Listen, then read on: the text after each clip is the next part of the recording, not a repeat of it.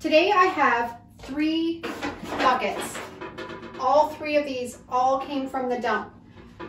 And I rescued them and I'm gonna upcycle them and make them into some farmhouse theme planters that I can have outside in my garden and on my deck or patio. Um, the first one that I'm going to do is an old sap bucket. And it's kind of a galvanized pail, kind of aged, but uh, I'm excited to turn that into a planter.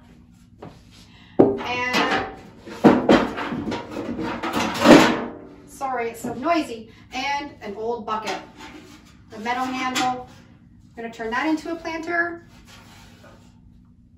Beautiful and rusty. And last, this planter. And it's got a little bit, this, got, this has got a wooden handle on this end. It's missing on this end, so I need to fix that up a little bit. It needs to be cleaned up, but I have some great ideas. So I'm gonna get creating, follow along, and make sure you hang out till the end so you can see what I made with them. Okay, let's get started. Okay, so these were all grabbed out of the metal bin and I saw potential in them and I think I can make them pretty. I'm just gonna wash them up to get all the grime and dirt off them. My favorite paintbrush, the Wooster. I'll put a link down below in the description and up above because it's a fantastic paintbrush. And I'm gonna put two coats of my homemade chalk paint all over this whole bucket. This homemade chalk paint recipe is really fabulous, so I'll also put a link down below and up above here for that recipe.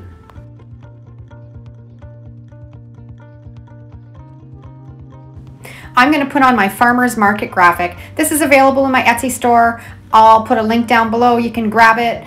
Make sure you use the code SAVE50 on all of my graphics and you can get 50% off of everything. Download them to your computer and use them whenever you want. And I printed my own graphics out on these napkins. It's a really easy technique. I also have a tutorial for that. I'll put that link down below and up above here. And I'm just removing all the edges, all that straight line edges and make it kind of ragged so it blends into the pail better. I've got it on a plastic sleeve. I'm going to put it upside down and put water all over it so it will um, be easier to manage when I put it onto my sap bucket. I find if I was just going to put this napkin without having it doing this technique right on the bucket, it seems to really go wrinkly and gets lots of air bubbles. This seems to eliminate a lot of that by doing this technique. You have to be very gentle because it'll rip really easy, but I'm just kind of pulling it out just to get any little wrinkles out of it. Let the water soak in and then I'm going to take a cloth and dab up all the excess water. And now I'm going to use my Mod Podge matte and I'm going to put a thin layer over the whole area where I'm going to put that graphic on.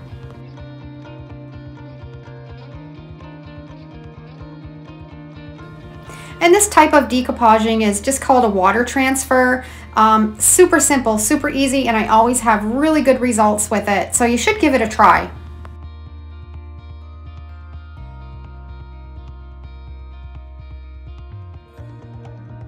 Now you're just going to pick up that plastic sleeve with the graphic on it and lay it right where you want it. And the nice thing about this is if you can just really gently move it around if it's not centered exactly where you want it. Just be very careful because it is very um, fragile. And then you're just going to press it down with your fingertips and get all those little wrinkles and air bubbles out the best that you can. And when doing this technique, you always want to have the same color background as the napkin. So that's why you want the white on the white or you will be able to see the outline of the napkin.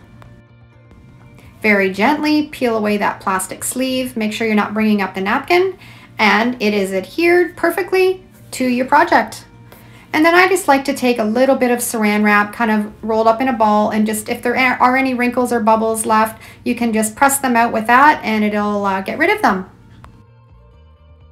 I've let it dry completely and now I'm going to put a top coat and because this is probably going to be outside on either my covered deck or porch um, I'm going to put my Varathane outdoor polyacrylic sealer in a matte finish. I like using the outdoor because it's a lot more durable than the indoor especially if you're going to have your project outside. And I'm going to put a real good coat over the whole project and then set it aside and let it dry.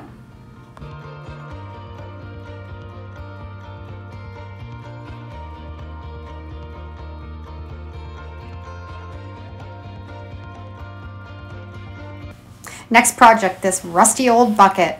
And I'm gonna just dry brush, just latex paint over it, just to kind of brighten it up a little bit because I do wanna put graphics on it also. And if I was just to put it on just the raw pail, uh, you wouldn't be able to see them very well. So I'm just putting a real dry brush coat of white latex paint all over the whole pail.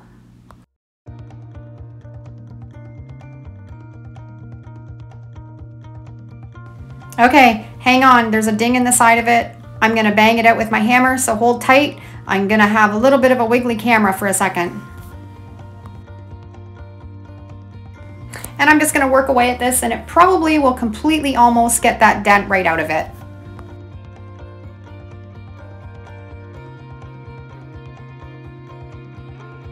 And for this pail, I'm going to use my Vintage Market graphic. I love this one. And I'm going to do the uh, reverse Mod Podge transfer. And you're going to print this off on your LaserJet printer, reverse the text, and then you're going to Mod Podge it onto the pail. So I'm going to put a liberal amount over the whole graphic and then stick it onto the pail and you want to let it set overnight and then in the morning once it's dry I'm going to rub off all the paper and the graphic will stay on the pail.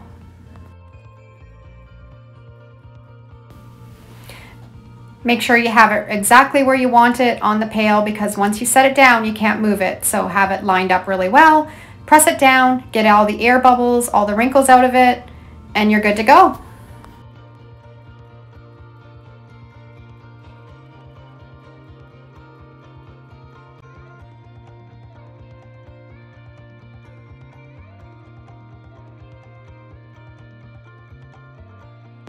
Okay, I left this overnight and now I'm going to dampen it with a uh, rag with water. And you just want to dampen it till you can start to see the graphics come through and then you're going to take off the paper.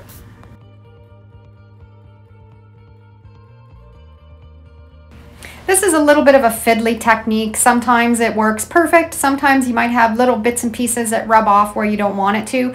I don't mind that because when I'm using this technique, it's always usually in a, a farmhouse theme um, decor or a sign where I don't mind if it looks a little bit rustic. And especially when you're doing it on metal, it seems to not adhere as well as a wooden painted surface. So just be patient, give it a try, and um, if it doesn't work out the first time, paint over and try again.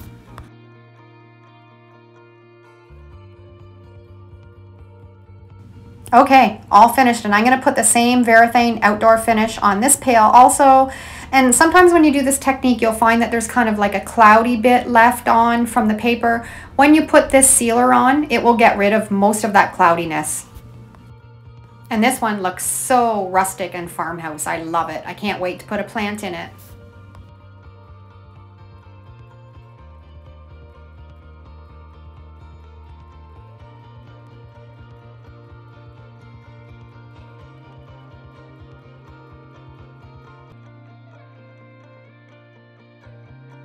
Okay, now to tackle this big planter. Um, I think I'm just going to take the handles right off of it because I don't know how I'll get that wooden piece off that other end. So they're quite easy to pull off. I'm just going to take them off, set them aside, put them in my shed because I'll use them on some other project.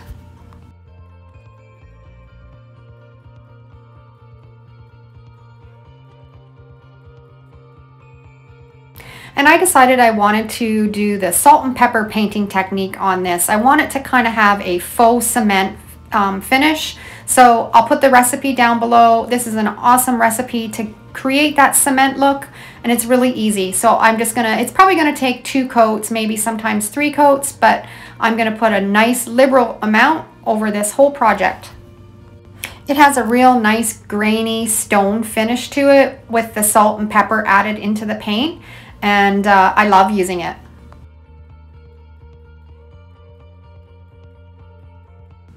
And now on to the second coat. And you want, kind of want to dab it on. You don't want to put too many brush strokes in it.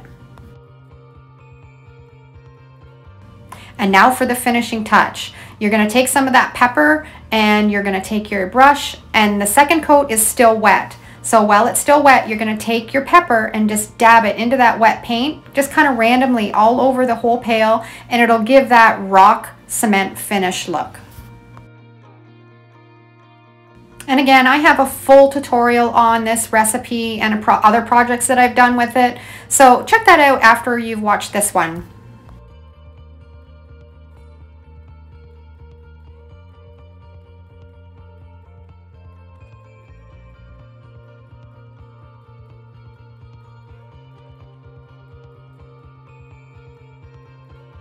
Okay, now it's completely dried and I'm going to use my um, polyurethane spray and seal it all up really well. I didn't want to brush on. I wanted to just use the spray so I could keep that um, cement looking finish and this should be good to set outside too with this formula.